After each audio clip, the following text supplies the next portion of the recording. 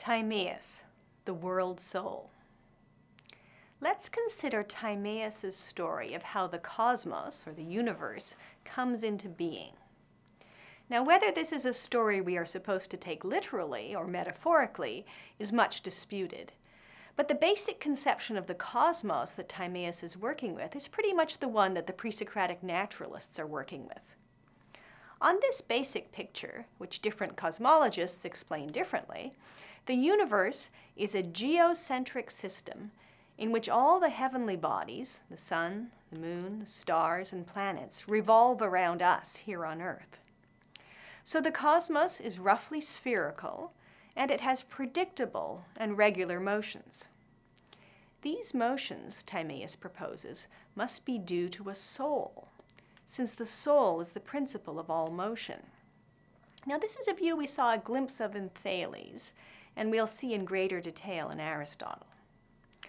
But for the present, the universe can be distinguished into a body, the world's body, and a soul, the world's soul. So it's actually a kind of animal. Now, anima which is the root for animal, actually comes from the Latin translation of the Greek word for soul. Now, when we are talking about a soul that animates the universe, we're no longer dealing with the tripartite soul of the Republic, which will turn up again later in the Timaeus uh, when the creation of human beings is described. The world soul, as Plato conceives it, is a purely rational soul. In fact, the rational part of our tripartite soul is built along the same principles. Now, one of the main points to take away from Plato's picture here is that these principles of rationality are mathematical. In contrast to the world's body, which is made of material principles earth, air, fire, and water the world's soul is constructed out of an invisible mixture of very rarefied entities being, same, and different. These are identified as the highest kinds in a different dialogue called the sophist. Now, the demiurge mixes these entities together into a coherent mass, no easy feat, and then proceeds to structure the mixture according to mathematical principles. He does so by cutting off a sequence of lengths from the mixture, which he arranges in ascending order of size. You might picture these like the sequence of strings on a harp, or keys on a xylophone, or pipes on an organ. The lengths of the first sections he cuts off constitute a series of double and triple intervals, starting with 1. The double intervals are 2, 4, and 8, and the triple intervals are 3, 9, and 27. Having cut off and set out in order these series of intervals, the demiurge's next step is to identify within each interval two middle terms, or means. Then cut off a strip of soul length, that length, and insert it into the progression of strips. Let's look at how this works for the double intervals. Now, one kind of middle term of the two he invokes is the arithmetical mean, the number that is equidistant between the extremes. So the arithmetical mean between 1 and 2 is 3 over 2. And between 2 and 4, it's 3. And between 4 and 8, it's 6, and so on. That's the easy one. The other kind of middle term, or mean, is more complicated to describe and sometimes it gets called the harmonic mean.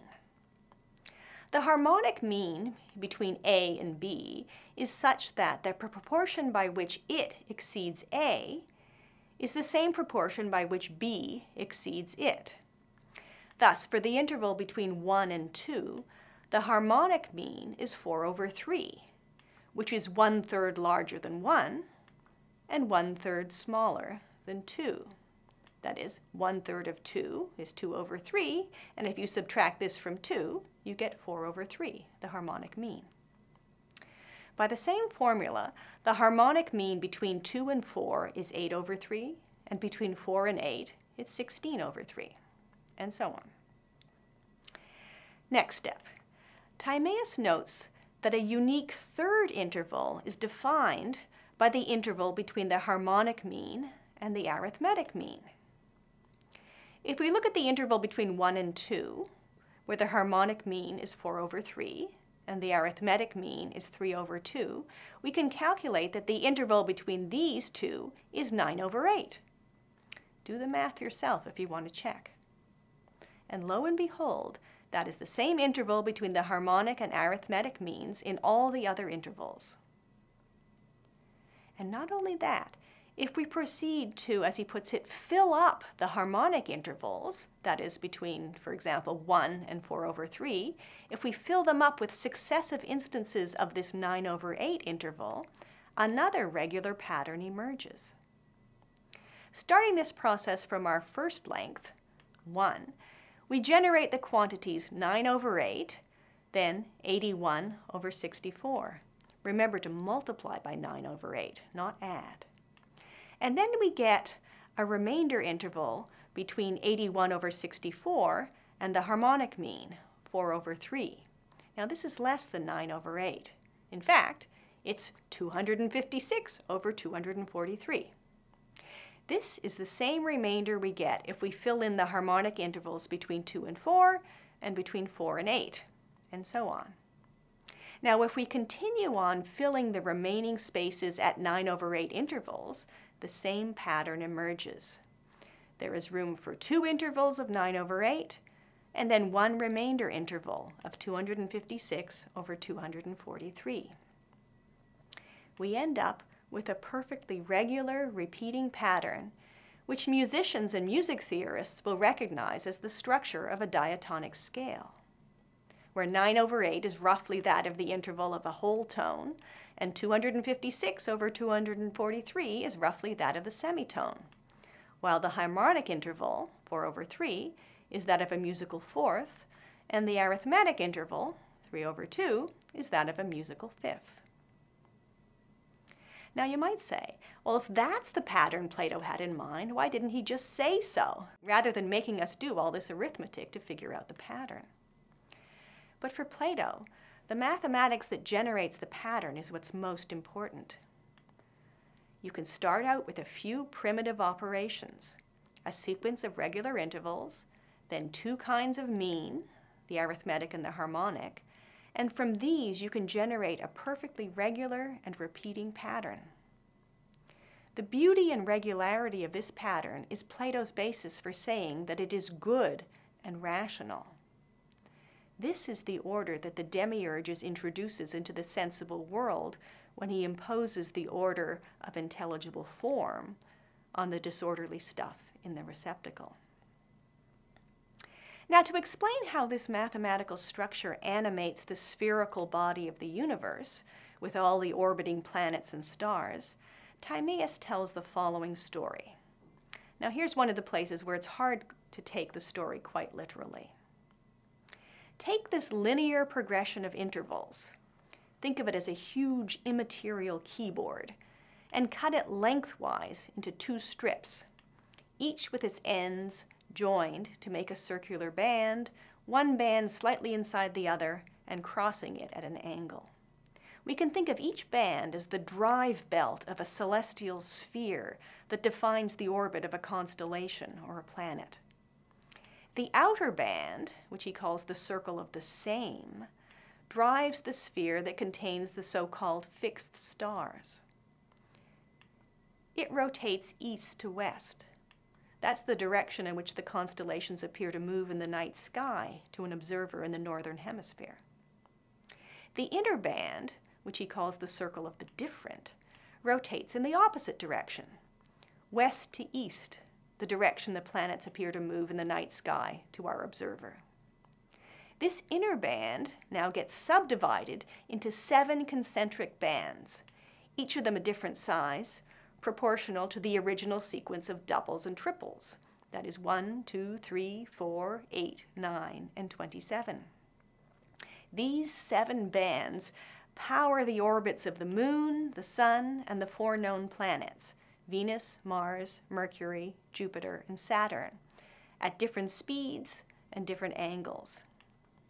Now, as you may know, the term planet comes from the Greek for wanderer, a reflection of the fact that from our perspective, the planets occasionally wander off their set course in the phenomenon that gets called retrograde motion.